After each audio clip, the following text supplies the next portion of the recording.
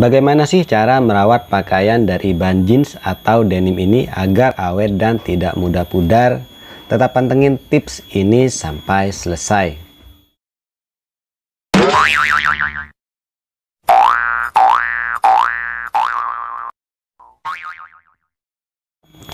Halo sahabat jahit, berjumpa kembali dengan saya Hari Arifin di channel yang selalu memberikan tutorial, trik dan tips seputar dunia menjahit. Cek juga ya video tutorial, trik dan tipsnya di channel ini karena di channel ini banyak sekali tutorial, trik dan tips yang kamu butuhkan seputar dunia menjahit. Apalagi untuk kamu yang masih pemula.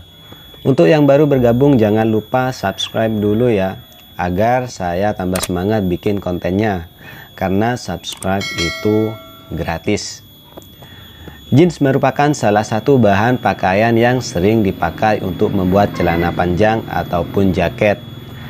Karena bentuk dan warnanya yang fashionable bahan jeans banyak dipakai dan diminati oleh orang-orang di dunia. Untuk celana jeans sendiri bahan dan bentuknya amatlah simple sehingga membuatnya mampu untuk dipadu-padankan dengan berbagai macam atasan. Untuk para wanita, jeans bisa membuatnya terlihat menjadi lebih ramping. Sedangkan buat para pria, dengan celana jeans ini juga mampu memberikan sebuah kesan casual buat para pemakainya. Untuk warna jeans tidak hanya memiliki warna itu-itu saja seperti dahulu. Celana jeans kali ini ada yang warna coklat, peach, maroon, dan warna cantik lainnya. Asalkan bisa memadu padankan dengan pakaian atasan, celana jeans bisa membuat penampilanmu jadi fashionable. Karena bahan jeans ini kayaknya agak sedikit kaku dan warnanya gampang untuk memudar, kamu harus tahu bagaimana cara merawatnya.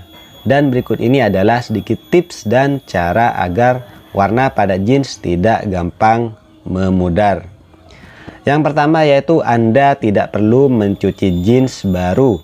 Untuk jeans yang baru saja dibeli, idealnya jeans tersebut tidak perlu untuk dicuci meskipun sering dipakai. Hal itu setidaknya hingga setelah 6 bulan pertama, hal itu dilakukan agar warna jeans tidak cepat memudar. Setelah dicuci untuk pertama kalinya, ukuran jeans biasanya agak sedikit menyusut. Hal ini merupakan hal yang wajar pada pakaian dengan bahan dasar jeans atau denim ini. Namun tak usah khawatir, jeans akan kembali ke bentuk dan ukuran semula setelah dipakai kembali. Yang kedua yaitu jangan e, melipat jeans. Seperti baju ataupun pakaian yang lainnya. Setelah mencuci biasanya kita melipat baju dan pakaian kita sebelum dimasukkan ke dalam lemari. Namun hal tersebut sebaiknya tidak dilakukan pada celana jeans atau jaket jeans ya. Karena struktur kainnya yang memang keras dengan melipat jeans maka akan membuat perubahan dan perbedaan warna pada bagian lipatan dari jeans ini.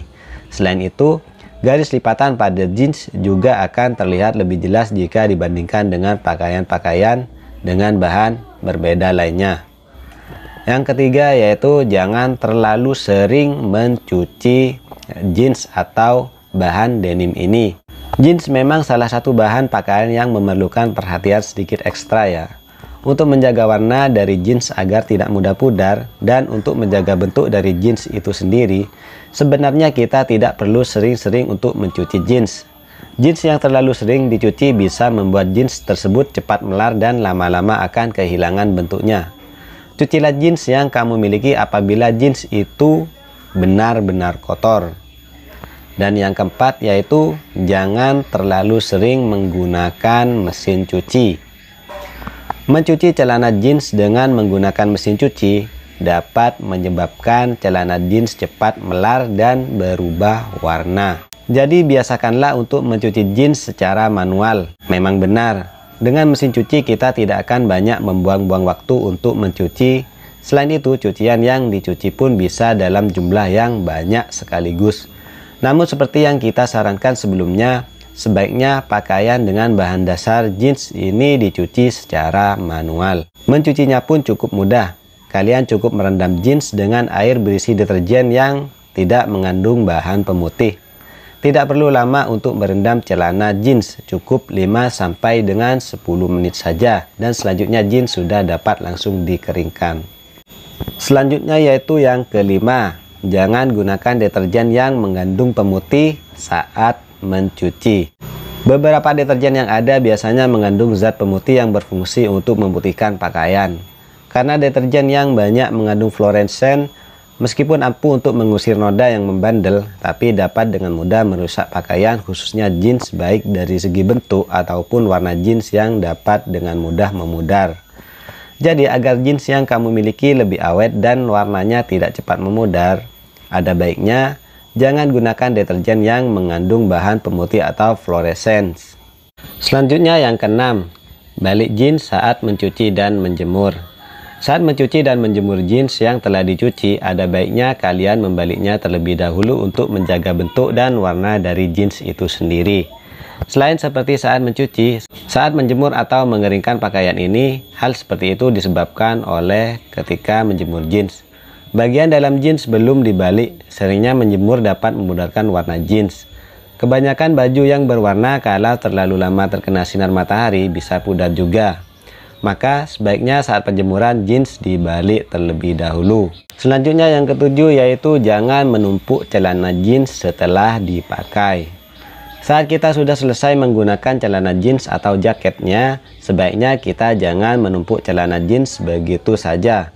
Agar jeans tetap beraroma segar dan bakteri penyebab bau apek tidak berkembang biak. Gantung jeans di hanger untuk mengangin-anginkannya sesudah dipakai. Hindari menumpuk jeans di lantai sesudah dikenakan. Menggantungnya di gantungan pakaian di belakang pintu juga tidak dianjurkan. Yang kedelapan yaitu menyetrika jeans dengan suhu tidak terlalu panas. Setelah pakaian kita kering sehabis dicuci, tentu saja kita biasanya langsung menyetrikanya. Untuk pakaian dengan bahan dasar jeans sebaiknya kalian lebih telaten dalam menyetrikanya. Pastikan suhu setrika tidak terlalu panas. Jeans pun harus kalian balik terlebih dahulu sebelum disetrika. Sama seperti saat mencuci dan menjemur pakaian dengan bahan ini. Dan satu lagi, hindari menyetrika jeans saat pakaian ini belum kering alias masih lembab. Hal itu dikarenakan apabila kalian menyetrika celana jeans saat jeans masih dalam kondisi belum kering sepenuhnya, tentu saja akan membuat mudahnya tumbuh jamur berwarna biru yang memudahkan jeans mudah rusak. Yang kesembilan yaitu gunakan asam cuka. Asam cuka alias vinegar merupakan bahan makanan yang digunakan untuk melengkapi masakan. Selain untuk memasak, vinegar juga bisa dimanfaatkan sebagai deterjen denim atau eh, jeans. Cukup dengan menambahkan setengah cangkir vinegar ke air dingin dan rendam denim sekitar setengah jam maka perlahan kotoran akan terangkat.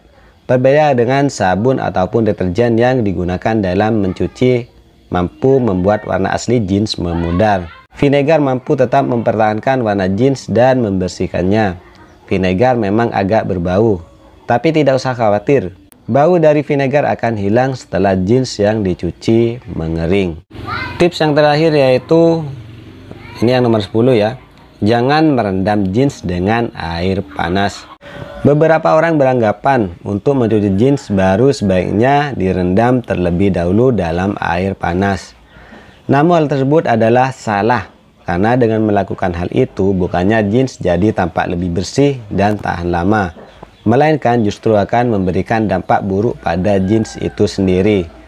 Hal itu terjadi karena apabila merendam jeans dengan air panas akan membuat serat dari celana jeans jadi mudah rusak dan robek.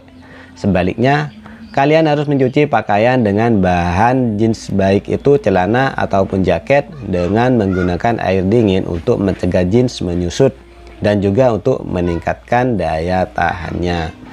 Demikian tips bagaimana cara merawat pakaian dari bahan jeans atau denim ini agar awet dan warnanya tidak mudah pudar. Semoga tips ini bermanfaat untuk sahabat jahit semuanya ya. Tunggu tutorial trik dan tips selanjutnya ya. Assalamualaikum warahmatullahi wabarakatuh.